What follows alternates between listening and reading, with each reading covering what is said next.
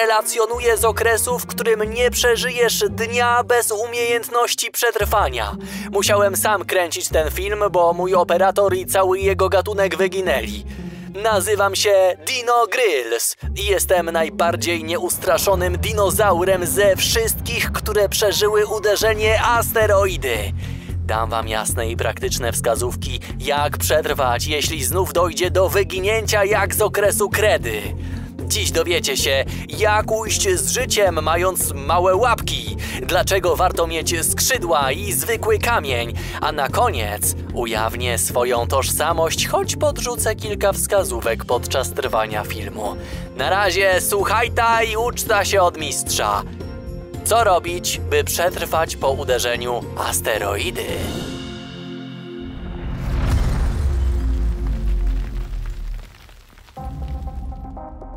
Wielu z Was słyszało, że przed asteroidą jakość życia dinozaurów i tak spadała, a niektóre nasze gatunki były bliskie wyginięcia. Ludzie, nie mylcie kredy ze średniowieczem. Mówię Wam to stek bzdur. Tak naprawdę nasze społeczeństwo kwitło. To samo powie Joseph Bonsor. Ten doktorant w Muzeum Historii Naturalnej opublikował artykuł w czasopiśmie Royal Society Open Science, dowodząc tego, co powiedziałem. Przeprowadził analizę obliczeniową, która wykazała, że gdyby nie uderzenie tej nieszczęsnej asteroidy, żylibyśmy i po okresie kredy. Zresztą sądzę, że dożylibyśmy XXI wieku, a może nawet mielibyśmy kandydata na prezydenta USA. Ale asteroida pokrzyżowała nam plany. 66 milionów lat temu, dwa dni przed uderzeniem, dostrzegliśmy na niebie drobne światło. Robiło się coraz jaśniejsze. Nie przejęliśmy się tym zbytnio i kontynuowaliśmy codzienną rutynę. Roślinożercy przeżuwali rzęsistą zieleń, pterozaury szybowały w powietrzu, a mozazaury pluskały się w morzu. Jednak kilka dni później spojrzeliśmy w górę i nagle były tam dwa słońca.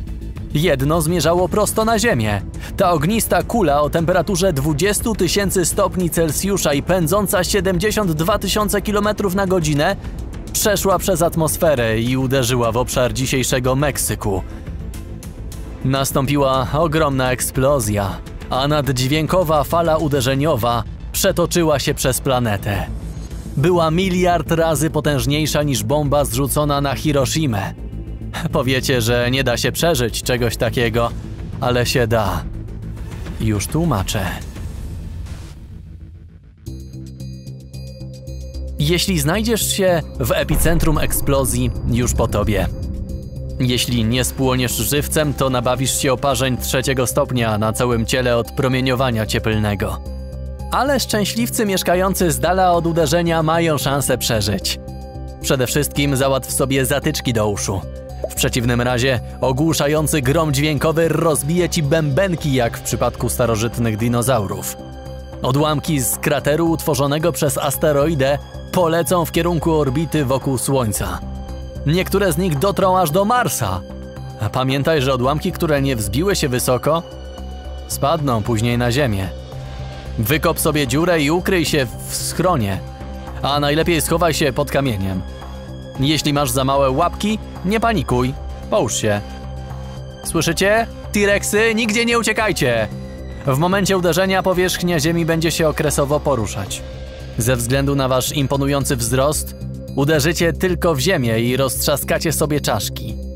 Jeśli masz skrzydła, jak Quetzalcoatl, to nie czas na popisywanie się powietrznymi manewrami. Zejdź na ziemię i poruszaj się na nogach, bo inaczej trafią cię szklane kule. Powstają one ze stopionych skał uwalnianych do atmosfery. Spadając z powrotem na ziemię stygną i tworzą szkliste substancje. Wtedy zacznie się powódź. W naszej erze było to niebywałe tsunami, mierzące 305 metrów. To dwa razy więcej niż wysokość wielkiego Buddy z Luskan. Nawet jeśli umiesz pływać, te fale cię dościgną. Ale trzęsienia ziemi, pożary czy tsunami to nie koniec. Potem przyszła najgorsza część. Jeśli wciąż żyjesz dzień po uderzeniu asteroidy w planetę, wykorzystaj swoją szansę.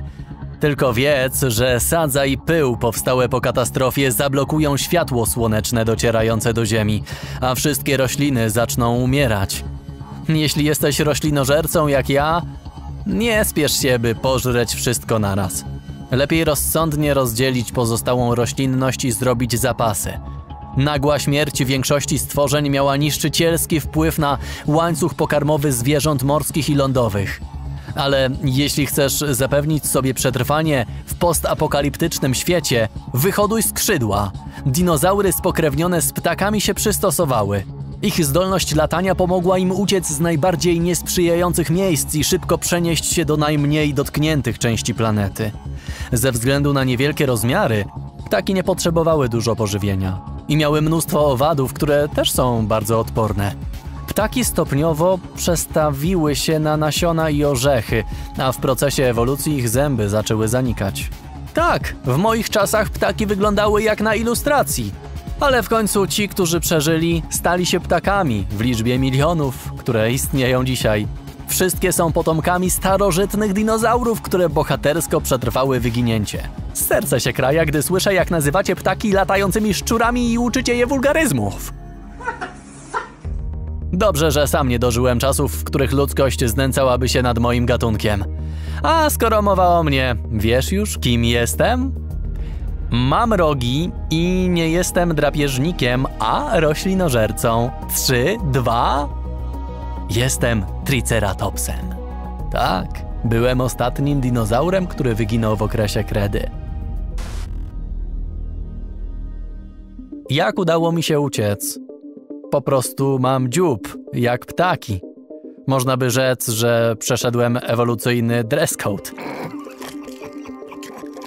No dobra, żartuję. Tak naprawdę jest wiele powodów. Po pierwsze, mam uniwersalną dietę.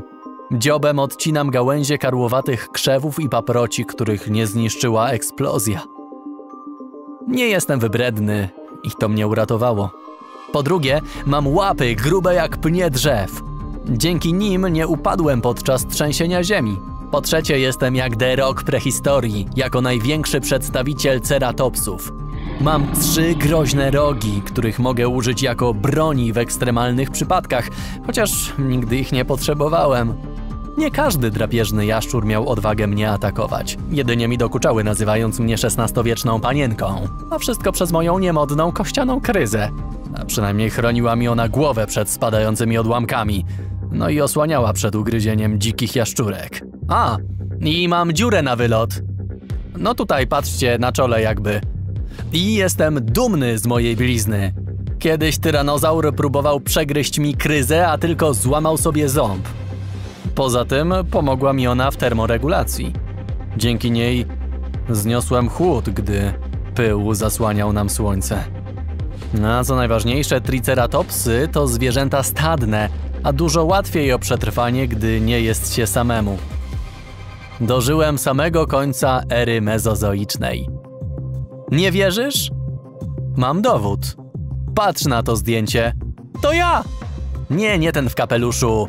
Jestem tu, to mój róg. Absolwent Uniwersytetu Yale, Steven Chester, znalazł go w formacji Hell Creek w Montanie. Po zbadaniu głębokości mojego miejsca pochówku, naukowcy ustalili, że zmarłem 65 milionów lat temu, czyli długo po uderzeniu asteroidy. Moje instrukcje powinny pomóc Ci zatem przetrwać, gdy w Ziemię znów uderzy ciało niebieskie. Pewnie zastanawiacie się, czemu nie udzieliłem porad na przetrwanie uderzenia asteroidy dla ludzi. Ale mój film jest przeznaczony dla dinozaurów, które zostaną wskrzeszone przez klonowanie. Odpowiadając na pytanie, jak ludzie mogą przetrwać, w sumie nie wiem, bo nie mają ani dzioba, ani skrzydeł, ani takiej fajnej kryzy jak ja. Myślę, że apokalipsę to przetrwa tylko Bear Grylls. Piszcie w komentarzach, kto waszym zdaniem też ma szansę przeżyć.